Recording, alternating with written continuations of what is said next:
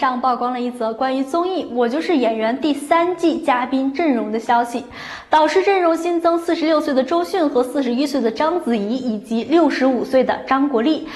其中呢，有以周迅、章子怡两人的加盟令人吃惊。毕竟呀，如果网传消息为真的话，综艺《我就是演员》第三季将会迎来两大影后坐镇，如此导师阵容实在强大。除了导师阵容令人惊讶之外，知名歌手王菲菲和知名演员兼导演的王宝强一同作为嘉宾演员，成为该综艺的参赛选手。这样的演员阵容呢，也引发了网友的热烈讨论。王宝强成为参赛选手的消息更是让人大跌眼眶，网友们纷纷评论：王宝强确定不是导师吗？他们和王宝强是一个水平的吗？诸如此类的质疑声不绝于耳。毕竟王宝强虽是演员出身，却指导了并出演了不少优秀影片，也。也难怪网友会对此消息感到疑惑。三十八岁的王宝强在二零零八年凭借电视剧《士兵突击》收获大批观众喜爱后，人气大爆，成为国民度极高的演员。不久后呢，转战电影业，出演喜剧电影《人在囧途》和《唐人街探案》，